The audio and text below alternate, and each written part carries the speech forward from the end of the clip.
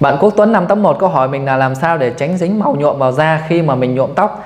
Đây chắc hẳn là câu hỏi được khá nhiều các bạn quan tâm đúng không? Đặc biệt là những bạn nào tự nhuộm tóc tại nhà như màu đen, màu xanh, màu tím. À, các bạn nhuộm xong thì hay bị à, dính và bị ờ, nem ra phần da của mình ấy. Thì các bạn lưu ý cho mình là trước khi các bạn nhuộm nhé các bạn sẽ lấy dầu xả hoặc là dầu gội của các bạn à, loại nào cũng được. Các bạn sẽ bôi hết những cái viền xung quanh tóc này cho mình. Rồi các bạn sẽ tiến hành các bạn nhuộm màu sau và các bạn cứ để nguyên sau khi mà các bạn xả tóc thì các bạn sẽ xả sạch luôn cho mình.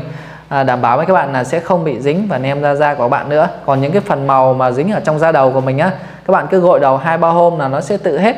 Đó rất là đơn giản như vậy thôi. Thì à, những bạn nào có câu hỏi liên quan đến chủ đề về tóc cứ để lại bình luận ở trong video này cho mình nhé